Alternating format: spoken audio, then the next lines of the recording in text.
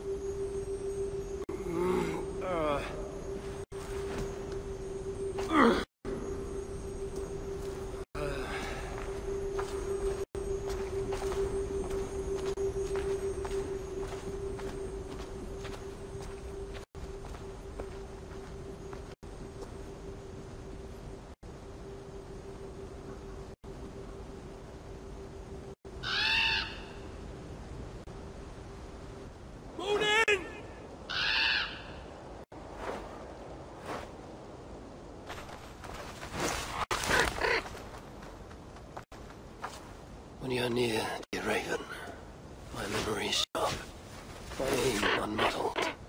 Down there in Niflheim, things are less clear.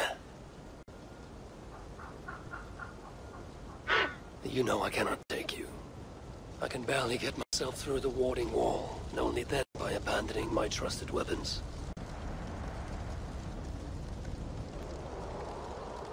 Do not sulk. I will not risk you. For who then would remind me of my purpose? Yes, Balder, my son. The light of the world, locked away in Hel's dark castle.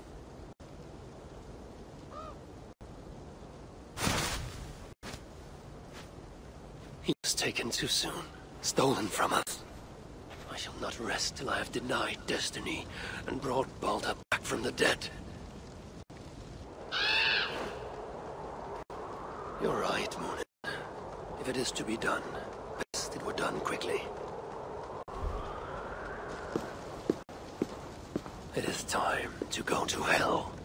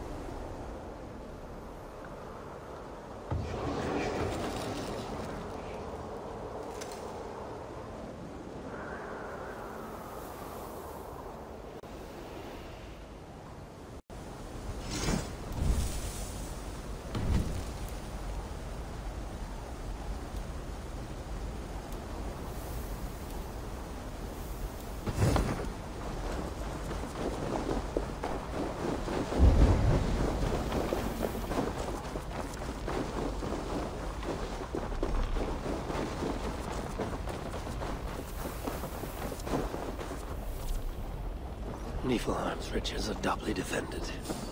Must kill the guards before disarming the shield.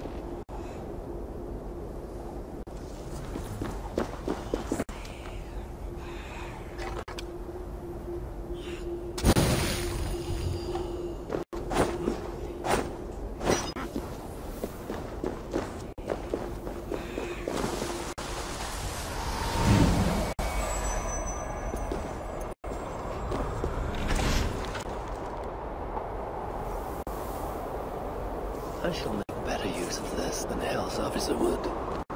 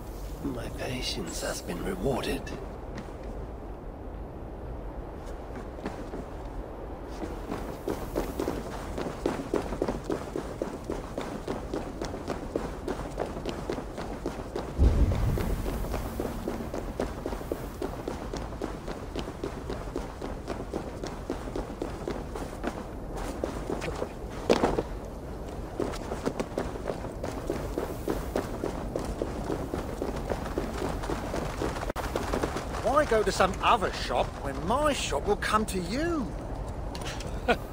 You carry your whole shop with you. That is quite a feat. Anything can be negotiated if you have the means, even this difficult land. Would you like to see what I have? Let us get down to business then.